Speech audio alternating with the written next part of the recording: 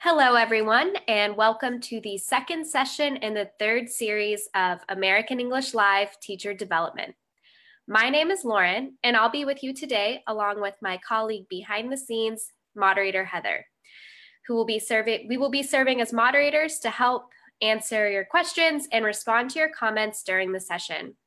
Today, Kate will be talking with Laura Becker about designing and leading impactful professional development for teachers. Let's go ahead and get started. Hello, everyone. As Lauren said, I am Kate, and I work here in Washington, D.C. in the Office of English Language Programs. I'm part of the American English social media team, and I'm happy to be with you here as your facilitator today. We'd love to, uh, to extend a warm welcome to our first time viewers. If you're joining us for the very first time, We'd love for you to let us know in the comments. And of course, we're so happy to see all of you who have joined us before, and we're really glad that you are continuing to learn and share with us. So thanks for being with us. Let's start with these American English Live viewing group photos featuring teachers at the Lincoln Corner Skardu in Pakistan and Youth English Corner in Zanzibar. Special thank you to these viewing groups for sharing these photos we love to see teachers learning and sharing together as they view the American English Live series. So thank you, and we'd love to see more. So please share your photos by emailing them to the email there on your screen, American English Webinars at elprograms.org, or by tagging us on social media at American English for Educators or by using the hashtag American English. We may feature one of your photos in the next session. So let's review our exciting lineup for this series. Our presentations for this series are on the topics of service learning, professional development for teacher trainers, and managing multi-level classrooms. Today, we're talking about professional development for teacher trainers. And we look forward to learning more about this and other topics without, uh, throughout the rest of the series. So here's a little bit about what to expect. Each session is about 60 minutes long, and it's usually linked to a Teacher's Corner theme on the American English website.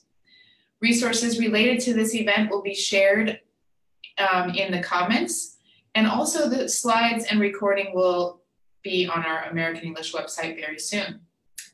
The presenter will present the material, and I, as your host, will ask questions and make comments as well.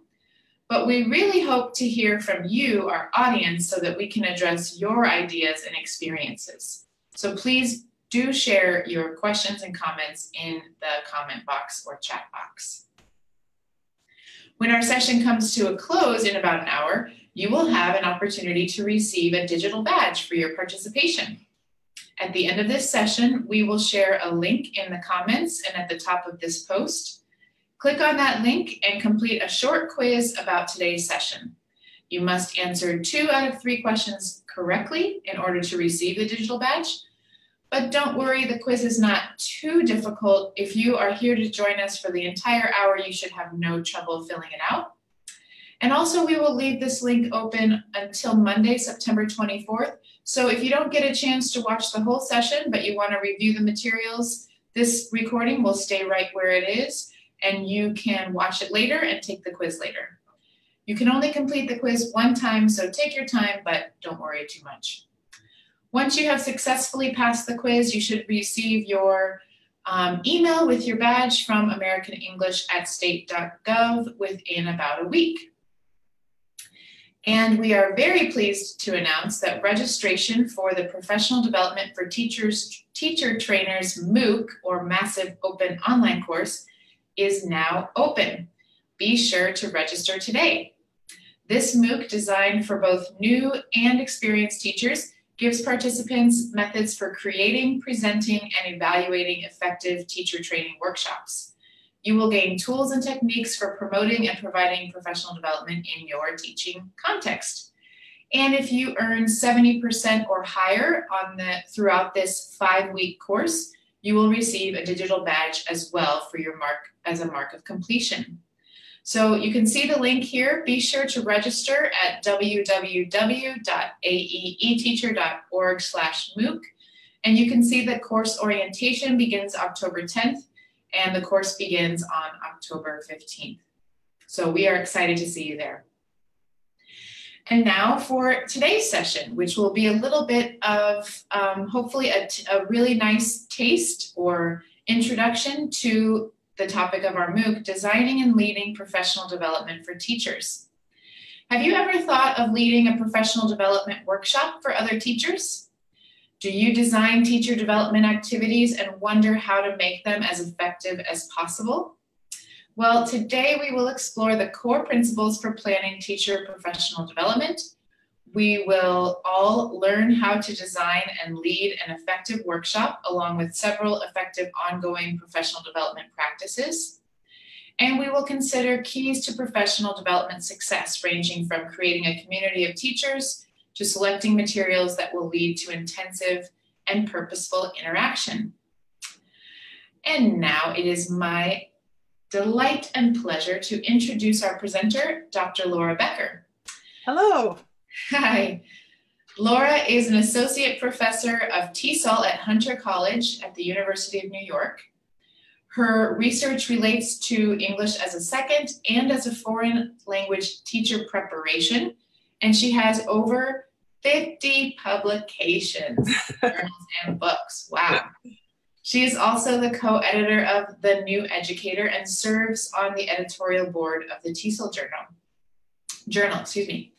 Laura has presented extensively internationally and in the US, and she also develops and directs study abroad programs for teachers.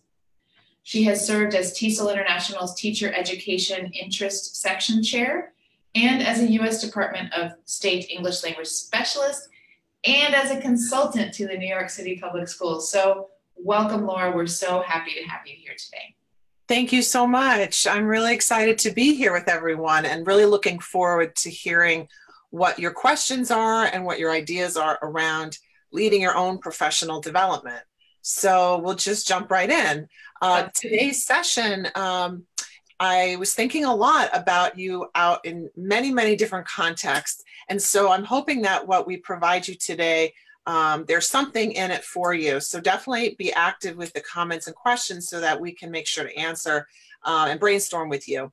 So the picture on the first slide, um, you'll see is uh, a black chalkboard and some light bulbs, some wheels turning, and a bar chart. So I selected this image because I thought it was a great way to think about the whole design process. Uh, and the light bulbs are great ideas in teaching English. There's so many different approaches and methods um, that we want to share and learn and improve. And those are the ideas that go into teacher professional learning.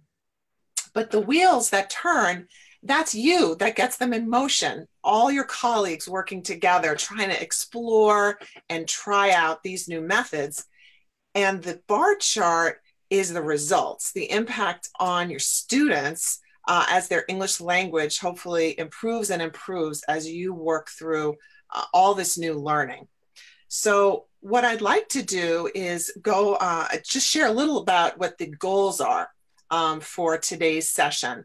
Uh, the first goal is to just help you see some of the um, the key components um, that we've found from a lot of research that tell you what professional development will be effective. And the second goal is to give you a little feel for how it's different to work with teachers learning versus students learning, and using all of that to make sure we have enough time to really look at some wonderful approaches that have been widely used um, in teacher professional learning. So getting started, um, I'd like to know, we can go to the next slide, what you think um, of when you think of teacher training and teacher development. Um, what do you think the difference is and which of those have you experienced? Um, and I'd love to hear some of the comments. All right, yeah, let's hear it from you, everyone. What do you think is the difference between teacher training and teacher development? And then what do you think you've experienced maybe more of? So as we're looking at our comments, we're getting a few coming in, but as we're looking at some of those and waiting for everybody to have a chance to think about it, I guess I think of training myself, Laura, as more what I went through before I became a teacher and development as sort of how I maintain my skills and improve my skills as I go along my teaching career. Is that about right? Definitely. I think training we think of as something when we're new to a craft or a trade that we work with someone who has expertise and they show us how to do this new thing and we do a lot of practice with it. That's sort of our training piece and they give us feedback on how we're doing. So development would be something more across the lifetime across your career that never really ends. It's something that's ongoing learning. Great. Yeah it looks like Ipnach Chimbote, hopefully I'm saying that correctly, he agrees that that, that development is more ongoing. Mm-hmm. Um, Pretty says that I think improving skills um, is part of development. Um, Fatima says that development is to improve our skills which already exist in us. Oh, I like that idea. Nice. Um, great. So a lot of great. Um, yeah, those are great ideas because the idea that it's already in us already, you know? So that leads us to the idea of working with other teachers in doing professional development, um, why might we call the leader of a teacher professional development experience a facilitator and not call them a trainer? Great question. So we'd love to hear from you, everyone. Why why would we call a professional development leader a facilitator rather than a trainer? What's the difference there, and why would we call them a facilitator? Um, and it looks also like um, some other folks are talking about how teacher development is practical implementation of learning and um, development is practicing. So we have some other great definitions there as well. Those those are great, and uh, I think when we think about um, putting something into practice, we we really need someone to support us. We're doing that work. So it's not so much that uh, we need training, but we need someone to help guide us to just create the space and the time and the structure. And that's really more of a facilitator role. Um, right. Noreen yeah. says that um, a facilitator just augments our learning. Uh, Nusrat says a facilitator guides us. Mm-hmm. Uh, let's see. Um, Gaza, Gazla says that you can train a teacher, but development can be shown on his or her part through improvement. Mm-hmm. And Mercedes says that we call it a facilitator because they motivate us to do things on our own. I like that. I love that. And the, um, what what those comments are making me think of is that the training is really what I am doing to you, but the development is what you're doing within yourself. I can't make someone develop um, that's something that's going to be their own process. So all of those uh, elements we want to kind of keep in mind throughout this workshop that this is not the same as um, initial teacher education or teacher training but something different. And it's really about working with colleagues and knowing that all of you as english teachers already have a lot to offer and share with each other. And it's really not about being an expert. It's about facilitating. And if you know how to teach, you know how to facilitate. Um, so let's take a look at kind of the definition for professional development. So you see, I have a who, well, where, when, why, you know, the five W's and the H. Um, so starting with the who, as I just mentioned, it can be led by teachers. It, it can be led by a coach. Uh, it can be led by an administrator, but it doesn't have to be um, someone who is in a position of authority. We can all share and lead professional development. When it can happen before school, during a lunch break, after school, um, anytime. Uh, where it can happen right in a classroom that's empty, it can happen in a ministry central office, or it can happen online like it is right now. Um, it doesn't have to be face to face. How?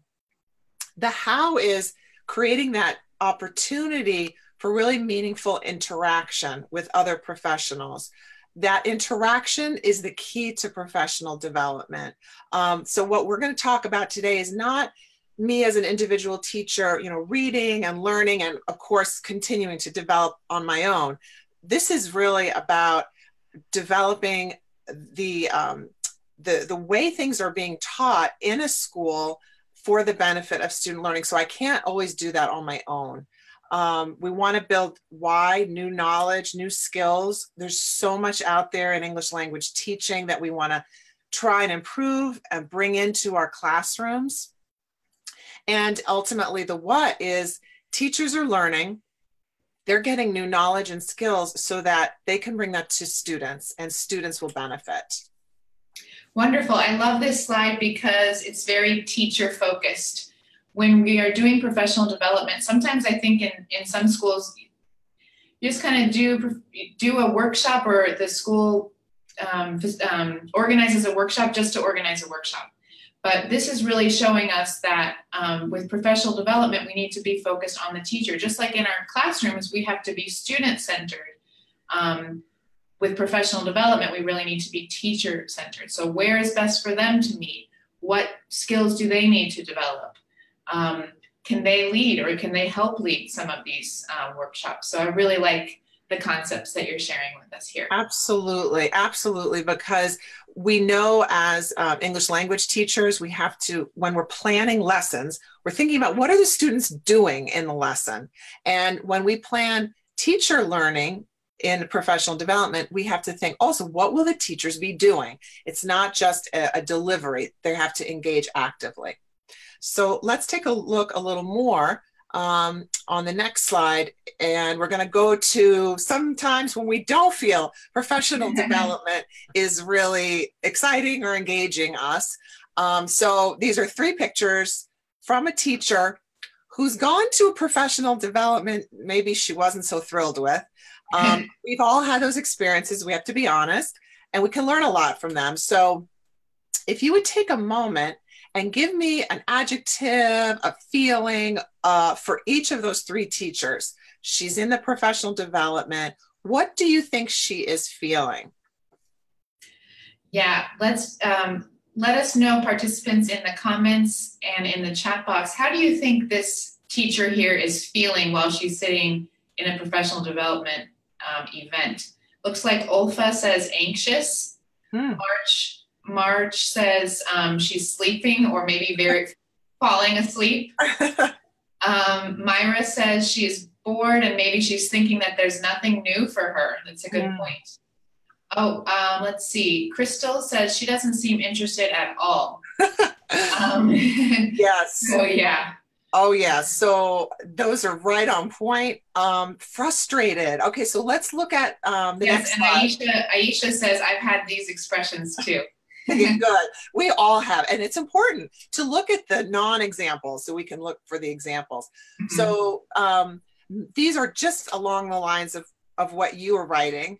Um, I'm already familiar with these techniques. There's nothing really here for me. Um, the teacher who's falling asleep, you know, I, I can't just sit here and be lectured to. I've taught all day, I'm busy, get me active. Um, and that hopefully might lead you to feel the third teacher, which is, you know what, I could lead this professional development. I know as much as this presenter does. Mm-hmm. Um, give me a chance. So, going to the next slide, um, if you would take a second to think about why do those teachers get to feeling frustrated, bored, uh, etc. Um, what have you seen or experienced or what do you think might have led them to feel that way? So if you can complete this sentence, teacher professional development may not be so effective when. All right, great. So when would teacher professional development not be effective, or when would you maybe feel uh, the way that those pictures kind of um, depicted? So, what are some examples or things that have happened for you in professional development, maybe that weren't so effective? let's see. A lot of people saying they can relate. I think one thing is um, when it has no relevance for my classroom, or I really don't feel that it's appropriate for my context, I often feel like the, the woman in those photos. Mm-hmm. Um, Benish says teachers are not uh, I'm sorry, Aisha says that maybe um, that they don't feel that they're being active mm-hmm. um, and they're, they're not being asked to be engaged in the process. Um, Gasala says it doesn't it doesn't engage the teacher personally. Mm. Or Katrina, I think this is one we can all relate to. The teacher has already heard that information before. right, right. Um, and so that's why your interaction is really important because when um, when we are sharing these ideas, we want to make sure you jump in and make you sometimes make the professional development meaning for yourself. Um, so let's take a look at the next slide, which is what a lot of research uh, on professional development has found. Um, when it's not effective, teachers don't take up the learning, they don't implement the new method, and students don't benefit.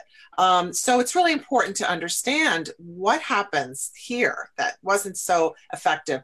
First of all, as you said, the participants do not get to choose what the content is. Someone tells them, You're going to learn this. Well, maybe I have no interest in that, or maybe I already know that. Um, the second bullet that the facilitator does a lot of talking and you don't get a chance to talk to your colleagues. It's just really listening. Um, the facilitator sometimes doesn't seem to have a lot of experience or they don't have experience in your school and your context so it doesn't always make sense what they're suggesting. Um, sometimes it's not effective because it's not differentiated. You know, it's like everybody's a new teacher, but you have experience maybe in the room. And the last one happens a lot, way too much, which is that after the workshop, after the professional development session or experience, there's no follow up you never hear from the facilitator again. You don't get to talk to other participants, see how it's going for them. So, some of the um, suggestions we have today are to kind of get at that piece. Um, so, these are some of the ineffective approaches, and a lot of you noticed why um, the teachers are looking that way. These are the reasons behind that. And so, let's take a look um, on the next slide at the positive. All so, right, so we so we took we kind of reflected on some um, aspects of professional development in the past that maybe weren't so effective, and now we get to see this beautiful bright bulb of seven principles that are going to be effective for us. Yes, because um, it's it's really uh, there's so much great professional development that we've all experienced too. We've gone to workshops that we just hold that material for years because it was so great and so useful, or just an experience, or even just getting to know colleagues. It re energizes. We leave feeling really good and excited about teaching. So I'm going to walk through these principles just touch on them. These are all based on a lot, about 25 years of big, large scale research on English language teachers around the world. Um, but please jump in anytime, any comments or questions as we go. Um, so I'm going to go to the next slide and walk you through them. The first one is that the professional development really connects to student learning. And so if the method, let's say it's a new approach to teaching pronunciation, I want to know is that a proven method? Is that a method there's been some research on? Because I want to take time, take teachers' time only on methods that are really going to impact student learning. The second um, component or principle is that what you all mentioned before, that the teacher has some um, involvement, has some goals that they have for their teaching, and that you check in with them with a survey, a questionnaire, talking to teachers. So, what you choose to present is really related to what they want to learn more about. Absolutely. Yeah, this is definitely one that a lot of our participants, I think, were bringing up in our previous discussion. Mm-hmm. Absolutely. Um, the next item is uh, that the whatever the professional development is about, it's something teachers can really use in the classroom. Um, it, it has examples of how it's been used um, so that it's not something that's, again, oh, it sounds great. It's a great activity, but it can never work, you know, where I am. Um, you want to hear and work with things that you feel you, you could really use in your setting, even if you have to adapt it a little bit. Uh, the next important feature of effective professional development is that as the facilitator presents the ideas, they give participants a chance to really practice the ideas. So if the professional development says, hey, we need to do more pair work in classrooms, the professional development workshop has pair work in it. You want to actually engage in the doing of the method because it helps you really understand it and you're more likely to use it back in your classroom when you've done it yourself. Absolutely. This one kind of ties in a couple things like actually implementing, but also during the workshop being an active participant, which a lot of people also brought up. Absolutely. The next um, component is that afterwards, there's some follow up. So, in order to have follow up, I need to make sure the administration supports what we're doing if a supervisor or inspector comes to watch the teaching, they'll say, yes, this is the methods that we want to see. There'll be encouragement. Or even it's just that the group comes back together and says, how's it going? What, how is this new method working out? So there's support over time. The next um, point is that there's a peer group that's created. Um, that when we have been teaching something a certain way for a long time, it can be really hard to try something new. And the support and the encouragement of our colleagues is really, really essential. And that schools uh, and teachers where there is this community and interchange um, is going on, it really impacts the student learning experience. That's great. And actually, I think this might be a good place for a question we had from Sima um, she asks, um, it's sort of related to a previous point you were making, Laura, but she yeah. asks, what if teachers have different needs? How do you address different needs of participants? Because we want to focus on their needs, but what if there are lots of different ones? Great question. that, that is a great question. And we get that a lot when we teach. You know, we have multi level classes and we are teaching this intermediate English language text, but we've got students at different levels. So we use a lot of what we know from language teaching, which is we need to somehow differentiate or tier the tasks. So, for example, let's say that, uh, let's go back to the pronunciation example. There's a new method in teaching pronunciation, but you find out that a couple of teachers in that room are really experts on pronunciation. They've done a lot of that work. Could they become co facilitators? Could they help share some of the practices that they have engaged in? Um, can you somehow group people during the session or pair them so people with different areas of strengths can share it because just acknowledging hey you you know a lot about this can really help teachers feel good and proud of their craft and they're going to become your ally your support your friend as you present as mm-hmm. instead of well i know this you know uh, and push back so you want to find out what people already know and do uh, before you design the workshop, before you engage everyone. Thank you. I think that's a great answer. Thanks, Laura. And I think um, it kind of highlights the fact that differentiation is similar when you're um, working with groups of teachers or with students. And you can maybe ask teachers to be leaders where they are experts um, and that you can kind of focus in on all the different types of needs and maybe address them at different times. So thanks for that great. Yeah. That, no, that is such a great question. And I think sometimes when we differentiate for our language learners, we don't think about doing it for teachers. Um, and it could it could also just be a different material, so they're working in different ways at the same goal. Um, but the peer support is is definitely a big component of the learning. Um, and let's go on to the last um, one that's often overlooked. Um, but that is what is the impact on the teaching? How did that professional development change something how did it innovate or change the system? And it can be very small changes. Um, so, for example, this workshop that we're doing right now online through American English, I would love to hear if you wind up trying to do some professional development work um, on your own or with a colleague um, in the next couple of months, we'd love to hear more about that because that will help me know hey, something that I offered was taken up, and you're free to, you know, send me a, a, friend request on Facebook, anything. I would love to interact with you afterwards to find out how it's going for you and see the impact. Yes, definitely. And of course, I'm going to put a plug in here for um, your photos, guys. So if there's something from this um, webinar that you really resonated with and you want to put something into practice, we'd love to see your photos. You can send them to American English webinars at elprograms.org or tag us um, at American English for Educators on social media. We'd love to see how you're implementing these great ideas.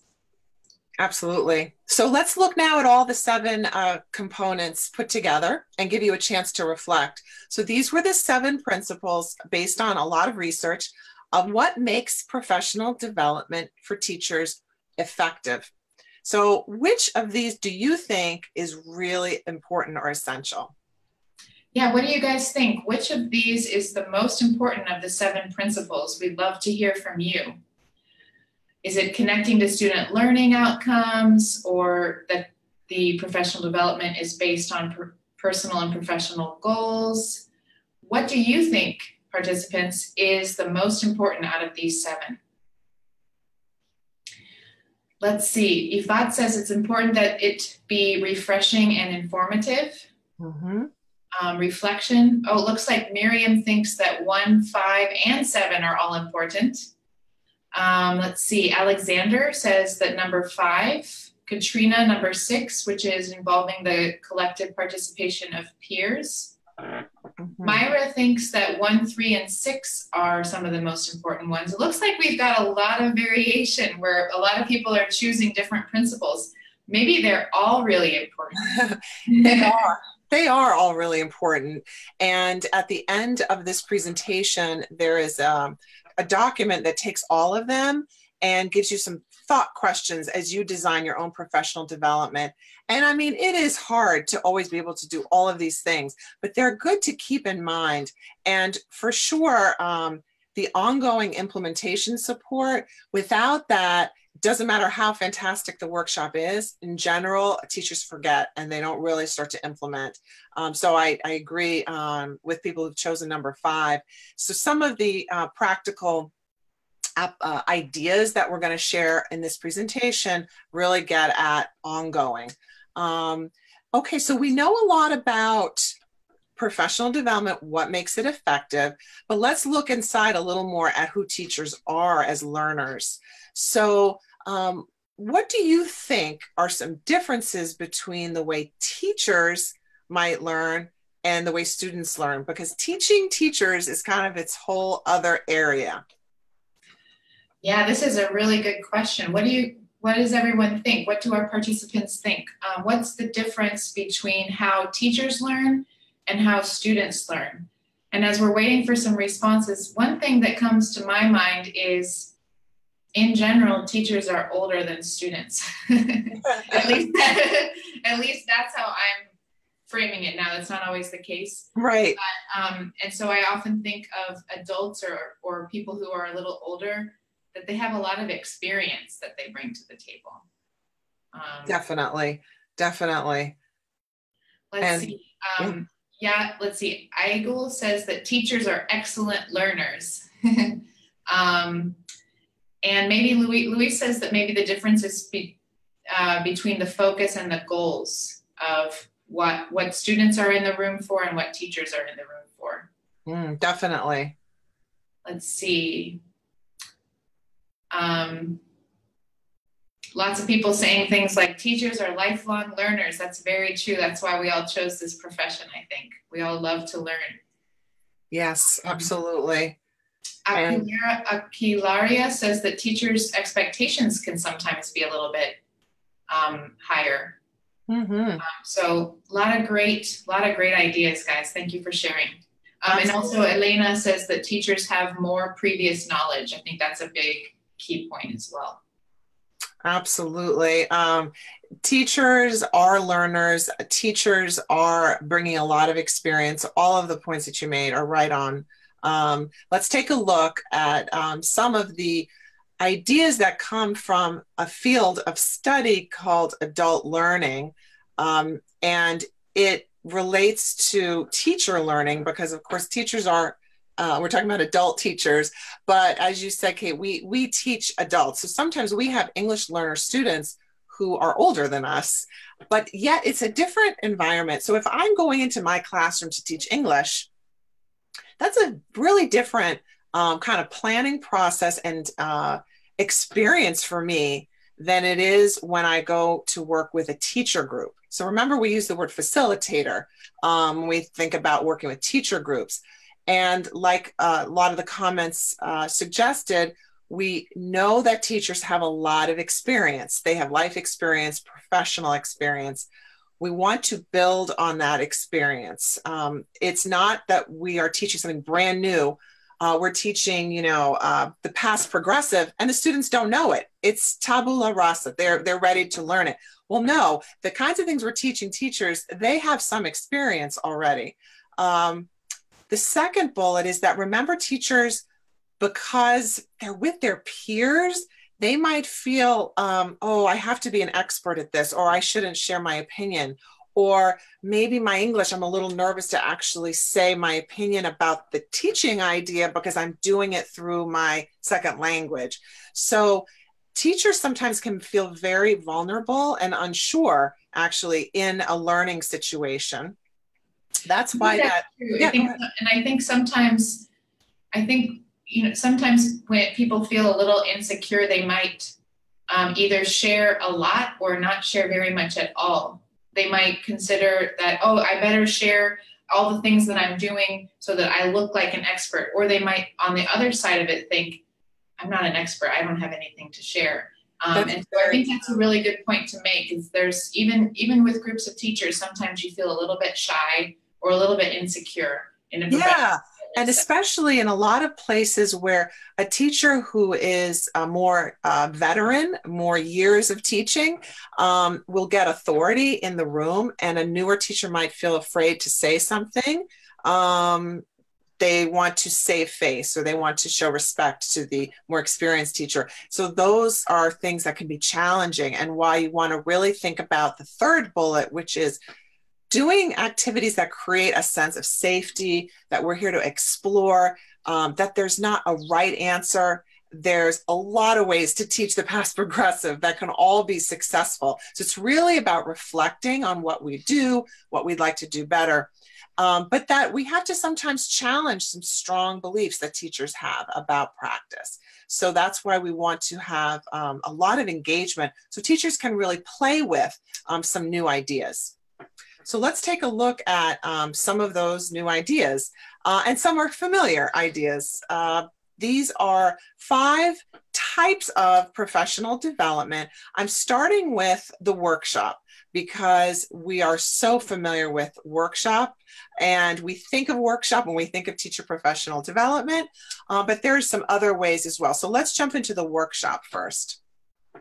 Uh, the first, the first uh, one is what we call a turnkey, uh, which is that you might watch a great session on American English and it's on um, bringing culture into the classroom and you say gee this is really great. I want to talk about this more and share this. Um, so it can be a great way to bring in a new idea um, and you're taking on a leadership role but you don't have to invent all the content. There's a lot of content that's already out there um, so let's take a look at the steps. So the steps involved for the workshop. First of all, you're going to want to ask teachers what they want to learn about. Choose a focus from their responses. When you have the teachers together, icebreaker, icebreaker, icebreaker. Sometimes we forget to do that. We oh these teachers know each other, uh, or they just want to get to the material. No, they really want to get to know each other, and they're going to feel more comfortable and share more if you can set up a lot of getting to know you. And we know we're experts at those in English language teaching. Mm-hmm. Um, it gives you a chance to feel out the audience, who they are. Um, then the method that you want to bring in, let's say um, these are teachers who work with young learners and you want to show them some new games to work with young learners do the games. Yes, we feel a little silly sometimes, and you can say, I know you're not little kids, we're teachers, but I'm doing this because, and they'll get involved. They'll do the method, but then they'll step out of it as teachers and discuss how did you think that went? How could you implement it? Plan the follow up so that you know when I'm going to try this new method, when we're going to come back together and talk about it or share it, and then evaluate what's happening in the classroom that's different than before. So let's look at just some tips. Uh, so some of the tips start with volunteers. You know, you don't want to force people to go to a workshop. Um, share something that you love, that you know very well, that you're excited about sharing with other teachers. Don't forget to bring some food put on some fun music in the background because as teachers we also need to you know be picked up sometimes um, and have something feel fun and joyful um, remember to plan a workshop um, has to be planned just as much as a lesson just because they're adults they're teachers they're not going to start to run around the room um, you want to make sure that every part of your time is well planned and if you do have a very big audience 200 teachers, um, make sure to always break them up into smaller groups with leaders so that they can really interact. Finally, let's I think yeah. a lot of I think a lot of people love the third point here, the music and food aspect. which I think Absolutely. is actually a really good point. You know, it's one way to build community and make people feel comfortable. Absolutely. Uh, and the last um, slide uh, from for looking at this approach um, is the next one, which is just a, a, a picture of some teachers who decided to look more at their content and language instruction. So they say, you know what, I really do want to do more content with my language teaching. I saw the American English session on this. Um, this is what I'm going to now turn around and try to share. And it may not be a one day experience, it could be a workshop that continues over several sessions. So let me ask everyone to just have a chance to reflect on the workshop and ask any questions. So um, we'll go to that slide and see if you have any questions about the approach or challenges you think um, when you're thinking about planning a workshop. Yeah, we'd love to hear from you. What questions do you have about trying this approach and what challenges might you face and how might you address those challenges? Um, let's see. I I really like also about this approach that we're asking for volunteers to start. So we're not just making people um, do this, but people who really are interested and invested are going to be attending. I think that would help a lot. Um, Shumila says that she really likes the idea of breaking teachers into groups. Um, yeah, Rizwan asks about yeah. the budget for this. Uh huh. Very practical question. Well, that is a great question. And uh, like most teaching, uh, we bring in our food from home and we uh, bring in the music, and hopefully, most of what you'll need is uh, it's it's a a currency of ideas. It's not that you have to give people materials, books. Um, it's that you're getting them to engage in a thinking process. So there might be a text, there might be a video, there might be um, some materials that you'll have uh, on a presentation, on a PowerPoint, or on a piece of paper, but the workshop should not cost much. Um, now, in terms of teachers getting paid to attend, that's another story. Yeah, um, a for sure. I mean, what you mentioned, Kate, and um, some of the audience about the choice uh, and the groups. So, one way to go about getting volunteers is to say, in some schools, what they'll do is say, all the teachers need to choose um, three professional developments in this semester or this year or whatever. And this is the menu. So teachers know they have to attend, but they get to choose from within that topics that they'd like to do. That's one way to handle that. Yeah, choice is always great for teachers or for students. And um, just one other quick comment from this is that Alexander said that um, technology can sometimes be an issue, but it, a solution he gave us was to always have a backup. So, yes, yes. And uh, you'll want to make sure that, again, if the workshop relies a lot on technology, why is that? You know it, is the t- is there enough time really for teacher dialogue? Because that's going to be the heart of the work inside a workshop. Right. Okay. Right. let's look at the next one this one's really easy to implement. Um, it can be a great way just to begin to create a learning community so in the united states we talk about bringing a brown bag to work. Although now we have fancy insulated bags, we don't use brown bags so much, but there's a common expression of a brown bag group. And in a brown bag group, you bring together teachers. So let's take a look at the steps. Um, you invite them, say, hey, who's interested in this topic?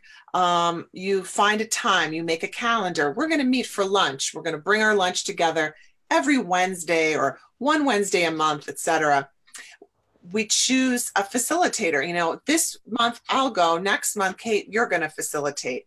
And the facilitator, like a book club, chooses the focus. They find a text, short, not a whole book, you know, a text, a reading, maybe one of the videos from a Facebook Live event from American English, something everyone's going to watch or read. And then we come together, and the facilitator has a few questions to get everyone started and sharing and thinking.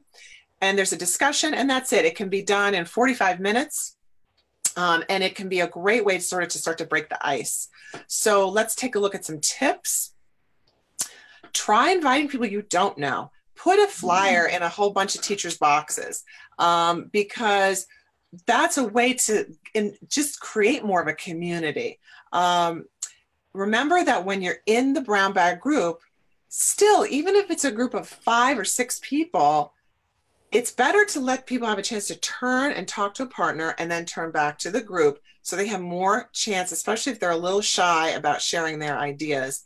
Um, and remember that the conversation, even the reading or the video, does not have to be in English. The idea is that we're getting people comfortable talking about teaching and then later implementing, of course, in the English language teaching context. So the next, I'm sorry. Yeah. Oh, I was just going to say that I love this idea, and I think I like the idea that it doesn't necessarily have to be in English. It's always nice, I guess, if it could be, but like you said before, sometimes if someone feels a little bit shyer, the idea is that the teaching method itself is what they're discussing and thinking about. So I like that. Right, because these are working teachers. They're already employed. You don't need to assess their English skills per se. It's a nice chance to practice English if people are comfortable with it.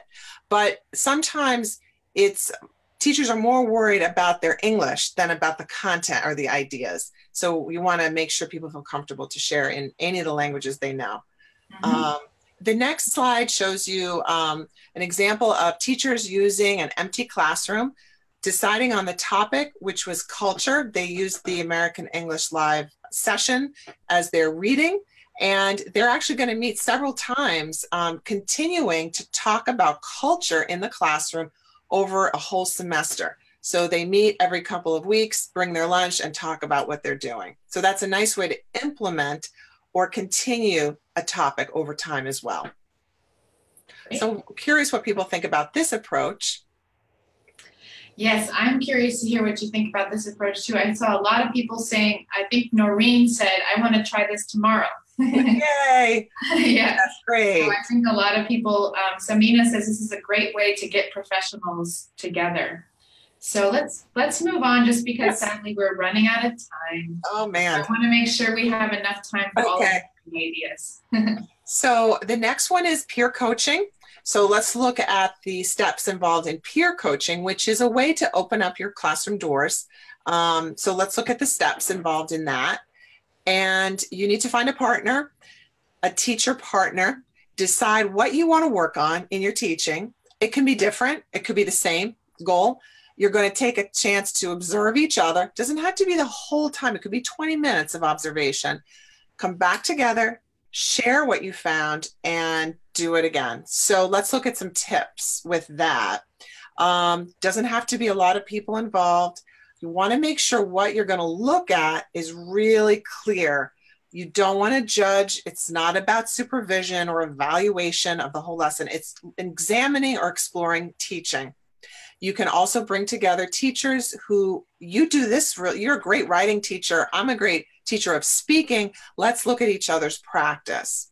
So, mm-hmm. going to the next uh, image here, um, we all are working on teacher talk. You know, we do too much teacher talk. How do we get more student talk? So, these teachers decided to focus on teacher talk over a whole semester.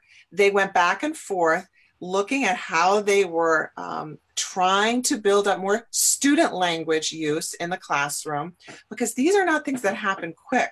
These are things that take time. But by keeping the focus and knowing you and I are in it together, we're both working towards this goal. It keeps the goal really in mind. Because, yeah, you're a little nervous because your colleague's coming in, but it keeps you tracked. It keeps you targeting that thing, that new method, as opposed to kind of forgetting about it, putting it to the side. So, any thoughts on peer coaching? You're welcome to share. Yeah, so can you explain um, the the clear difference between the brown bag session and the peer coaching session? How would you distinguish those two? Well, the brown bag session is um, not does not involve classroom observation. Uh-huh. That is bringing in ideas for reading. So it's almost like a study group. So we're continuing to learn about teaching and we're having conversations, but it's not yet. I'm going into your classroom now to look at how you're doing that because that's kind of a next step. Gotcha. Yeah, and Sala says about peer coaching that this helps us to fill in the blanks of each other. I think he might be referring to your example of one person's really good at yes. teaching writing and the other one's good at teaching speaking. We can help each other to build off of our strengths and support each other in some areas where we still need to develop. Absolutely. And teachers, you know, we all are very hard on ourselves. We're always looking for things we could do better. And sometimes it can be a, a nice form of support to really celebrate things that we each are doing in our classrooms. Yeah, one, um, let's see, Abdullah Musa says in peer coaching, will some teachers feel like you want to pick on them? yeah, which is why peer coaching is something you're going to have to build up to. Uh, I would suggest doing that after the workshop or mm-hmm. after the brown bags when you have a feeling of comfort and that we're there in it together and it, again voluntary um, you also want to do some work on evaluative versus descriptive notes mm-hmm. so that the um, colleague is writing just what they see and hear and not putting in their judgments Great. And Arno Paul says that this allows for the experienced teachers to teach the new teachers and vice versa.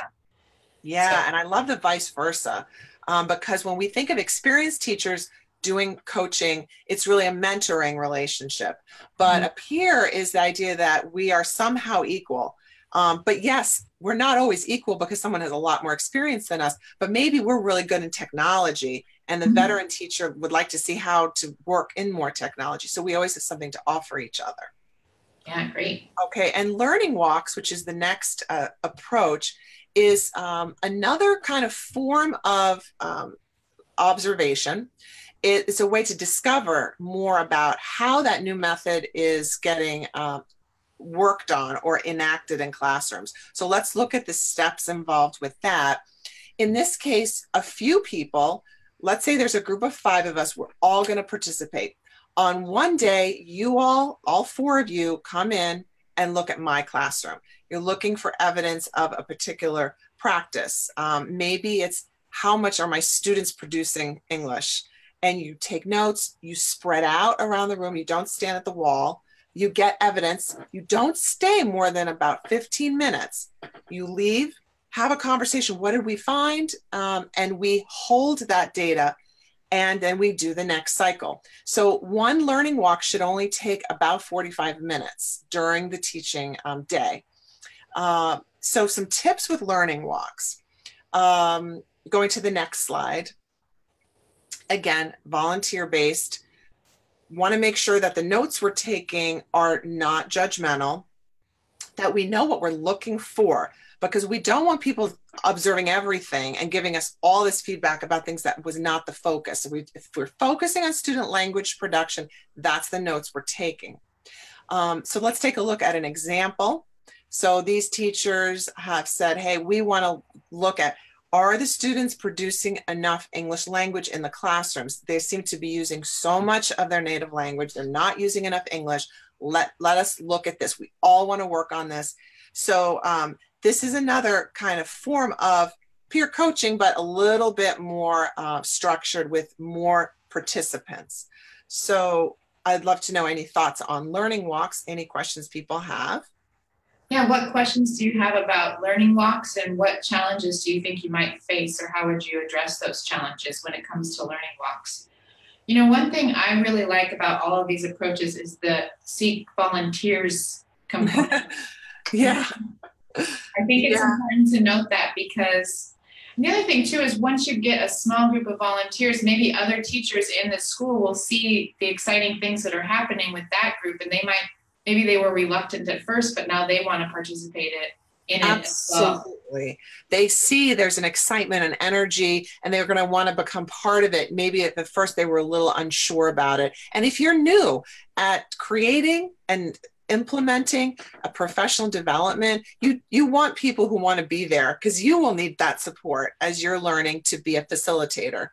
Um, so the last approach. Oh, and one other is that Noreen Mirza says that teachers need to learn coaching skills too, and this might really help them to develop those. Yes, yes. So a lot of teachers have a lot of experience and they're getting a little tired. They want to kind of move themselves into a teacher leader role, and this is a nice way for them to gain that experience. It's something you can put on your resume, you know, that you have been a peer coach. That makes you stand out as well. Um, so this last one is called Lesson Study. It's been around for a while. It comes from Japan.